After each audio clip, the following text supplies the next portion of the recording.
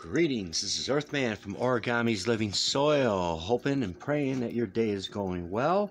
I hope you're blessed. We're going to talk about real briefly.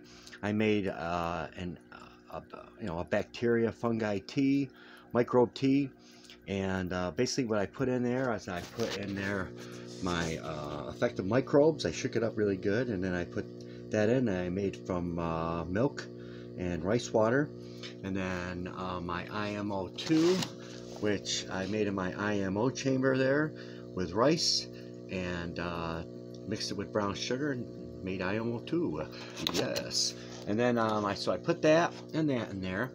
And instead of putting molasses in there I put this potato dextrose agar and uh, it's a quick carb and I think um, I think it turned out good. Uh, it's not foaming like people would expect uh, tea to foam. Um, this is very uh, much a bacteria tea more than a fungi tea that foams a lot.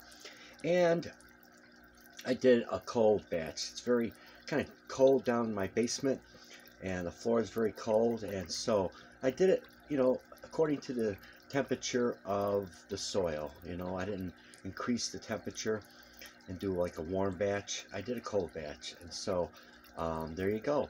And so you can guarantee there's stuff in there. This water is alive. And um, what I'm going to do is I'm going to put some seaweed extract in there, and then I'm going to apply it to my plants later on uh, this evening after the sun goes down um, a little bit. And you don't want to apply this in the dead of summer, uh, heat and sun. Um, just will kill the microbes. So I apply it when it gets starts to get dark and cool out, and uh, and then you know they'll do the rest. They'll take care of my plants. And so I'm going to keep making this. I think the next batch I'm going to do is to be a warm batch. I'm going to put a heater by it and uh, just, um, you know, bring it up to around 75 to 90, you know, between there somewhere. And uh, we'll see what happens then. And I'll use molasses the next time too.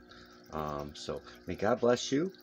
And, um, yep, and have a great day. And uh, there you go.